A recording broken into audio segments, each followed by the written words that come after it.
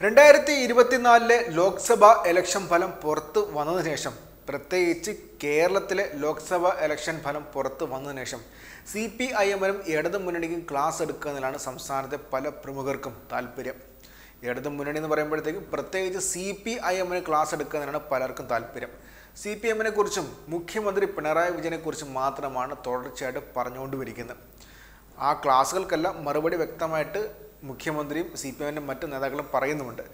വ്യക്തമായിട്ട് തിരുത്തലുകൾ നടത്തി തന്നെ മുന്നോട്ട് പോകുമെന്ന് സി പി എമ്മിന്റെ സംസ്ഥാന സെക്രട്ടറിയുള്ള എം വി ഗോവിന്ദ മാസ്റ്ററും പറഞ്ഞിട്ടുണ്ട് മുഖ്യമന്ത്രിയും പറഞ്ഞിട്ടുണ്ട്. വ്യക്തമായ വേണ്ട തിരുത്തലുകൾ സംസ്ഥാന സർക്കാർ തലത്തിലും പാർട്ടി തലത്തിലും നടപ്പിലാക്കും. അതുമായിട്ട് മുന്നോട്ട് പോവുക തന്നെ ചെയ്യും. ആ തിരുത്തൽ നടത്തുമെന്ന് പറഞ്ഞിട്ടുണ്ട്. അതിനുശേഷവും പഠിപ്പിക്കലുമായി രംഗത്തിറങ്ങിയിരിക്കുകയാണ് പലരും.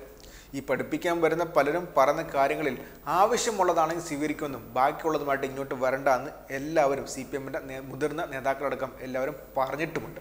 എന്നാലും അനാവശ്യമായിട്ട് ഒരവസരമല്ലേ പോകുന്ന വഴിക്ക് ഒരു അടി കൊടുക്കാം അല്ലെ ഒരു ചവിട്ട് കൊടുക്കാം എന്ന രീതിയിലാണ് പലരും വരുന്നത്. ആ കൂട്ടത്തിൽ പ്രമുഖ മാധ്യമപ്രവർത്തകരുണ്ട് പ്രതിപക്ഷത്തെ രാഷ്ട്രീയ നേതാക്കളുണ്ട് പിന്നെ സ്വതന്ത്ര രാഷ്ട്രീയ നിരീക്ഷകരെന്ന് പറയുന്ന വലതുപക്ഷ രാഷ്ട്രീയ നിരീക്ഷകരുമുണ്ട്. ഒരുപാട് പേർ. ചവിട്ട് കുത്ത് പോകുന്ന വഴിക്ക്. അവസരം കിട്ടുമ്പോൾ അടിക്കുക. ഇതുപോലത്തെ ഒരു അവസരം. കഴിഞ്ഞ രണ്ടായിരത്തി പത്തൊൻപതിലാണ് ഇതിനു മുന്നേ ഇതുപോലത്തെ ഒരു അവസരം സംസ്ഥാന സർക്കാരിനെതിരായിട്ടും ഇടതു മുന്നണിക്കെതിരായിട്ടും കിട്ടിയത്. അതുകൊണ്ട് തന്നെ അഞ്ച് വർഷത്തിന് ശേഷം കിട്ടി അവസരം പരമാവധി മുതലാക്കുക എന്ന ലക്ഷ്യത്തോടെയാണ് പലരും മുന്നോട്ട് പോയിക്കൊണ്ടിരിക്കുന്നത്.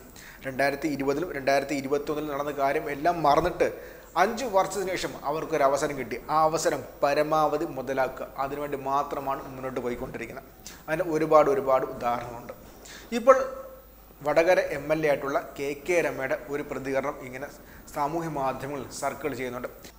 അത് മാതൃഭൂമി ന്യൂസ് റിപ്പോർട്ട് ചെയ്ത് ഇങ്ങനെയാണ്.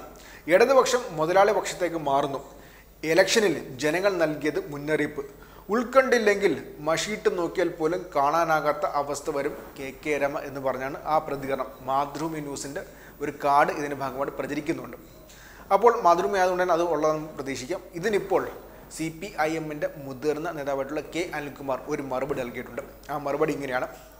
ഒരു മറുപടി എന്ന് പറഞ്ഞ് ഒരു ഫേസ് കുറിപ്പായിട്ട് തന്നെയാണ് അത് ഈ കാര്യം പറഞ്ഞിട്ടുള്ളത്. ഒരു മറുപടി കോൺഗ്രസ് ഏത് പക്ഷത്താണ് മാഡം? സർക്കാർ സ്കൂളുകൾ മെച്ചപ്പെട്ടുവോ? സർക്കാർ ആശുപത്രികൾ മെച്ചപ്പെട്ടുവോ? കേരളത്തിലെ സംസ്ഥാന റോഡുകളിലോ പാലങ്ങളിലോ ടോൾ ഉണ്ടോ കെ ഇ ബി ഇപ്പോഴും പൊതുമേഖലയിൽ കെ ഫോൺ പൊതുമേഖലയിൽ. പിണറായി സർക്കാർ പൊതുമേഖല വിറ്റോ? കേന്ദ്ര സർക്കാർ നടപ്പിലാക്കിയ കർഷക ദ്രോഹ നിയമങ്ങൾ കോൺഗ്രസിന്റെ രണ്ടായിരത്തി പത്തൊൻപതിലെ പ്രകടന പത്രികയാണ് മാഡം. കേരളത്തിൽ ദാരിദ്ര്യ നിർമ്മാർജന പരിപാടിയുണ്ട്. കേരളത്തിലെ അധികാര വികേന്ദ്രീകരണം ഇതൊക്കെ മുതലാളിത്തമാണോ? അറുപത്തിരണ്ട് ലക്ഷം വീട്ടിൽ ആയിരത്തി അറുന്നൂറ് രൂപ വീതം പെൻഷൻ ഇന്ത്യയിൽ എവിടെയുണ്ട് മാഡം? കുടിശ്ശികയ്ക്ക് മാപ്പ്. സപ്ലൈക്കോയോ ഒന്നാം പിണറായി സർക്കാർ മുതൽ ഏഴ് കൊല്ലം കിട്ടിയ പോലെ തുടർന്നും കിട്ടണമെന്നാണ് ജനം പറയുന്നത്. അതിൽ വീഴ്ച വന്നു എന്നത് സത്യമാണ്. പക്ഷേ കേന്ദ്ര സർക്കാർ ചതിച്ചതാണ് കാരണം. നെല്ലെടുത്ത വകയിൽ മോദി സർക്കാർ ഉണ്ടാക്കിയ കുടിശ്ശിക ചെറുതായിരുന്നില്ല. ഇതിലൊക്കെ എവിടെയാണ് മുതലാളി പക്ഷപാതം? വെറുതെ കെട്ടുകഥ പറയരുത്. ഞങ്ങൾ തോറ്റു. അത് അംഗീകരിക്കുന്നതിന് മടിയുമില്ല. പക്ഷേ വെറുതെ കയറി അങ്ങ് മെയ്യാൻ വരരുത്. അഡ്വക്കേറ്റ് അനിൽകുമാർ. പിന്നെ അവസാനം ടിപ്പണി ആയിട്ട് ഒരു ചെറിയ കാര്യം കൂടി അവർ അഡ്വക്കേറ്റ് കെ അനിൽകുമാർ പറയുന്നുണ്ട്. അദ്ദേഹം പറഞ്ഞിങ്ങനെയാണ് മഷി ഇടാതെ നോക്കിയാൽ കാണാവുന്നത്ര വലിപ്പം ആരംഭിക്കുണ്ടല്ലോ സമാധാനമായി. ഇത്തരം പറഞ്ഞാണ് അദ്ദേഹത്തിന്റെ പോസ്റ്റ് അവസാനിക്കുന്നത്. അതിൽ ഏറ്റവും അവസാനത്തെ ലൈനാണ് ഏറ്റവും പ്രധാനപ്പെട്ട കാര്യം. ഞങ്ങൾ തോറ്റു. അത് അംഗീകരിക്കുന്നതിന് ഞങ്ങൾക്കൊരു മടിയുമില്ല. പക്ഷേ അതും പറഞ്ഞ് വെറുതെ കയറി അങ്ങ് മേയാൻ വരൽ അതിന് തൽക്കാലം ആവശ്യമില്ല. അത് തന്നെയാണ് തുടർച്ചയായിട്ട് എല്ലാ നേതാക്കളും പറയുന്നത്. ഞങ്ങൾ പരാജയപ്പെട്ടു. അത് അംഗീകരിക്കാൻ ഞങ്ങൾക്ക് ഒരു മടിയുമില്ല വേണ്ട തിരുത്തൽ വരുത്തി മുന്നോട്ട് പോവുക തന്നെ ചെയ്യും. രണ്ടായിരത്തി പത്തൊൻപതിലും ഇതുപോലെ തന്നെ തോറ്റു. ആ സമയത്ത് വേണ്ട തിരുത്തൽ വരുത്തി പാർട്ടി മുന്നോട്ട് പോയി. രണ്ടായിരത്തി ഇരുപത്തിനാലും ഇത് ആവർത്തിച്ചു. വേണ്ട തിരുത്തലുകൾ ആവശ്യമായ കാര്യങ്ങൾ സംസ്ഥാന സർക്കാർ തലത്തിലും പാർട്ടി തലത്തിലും ചെയ്യുമെന്ന് വ്യക്തമായിട്ട് എടുത്തു പറഞ്ഞിട്ടുണ്ട്. പക്ഷേ ആ സമയത്തും വെറുതെ കയറി മേയാനാണ് പലരുടെയും താല്പര്യം.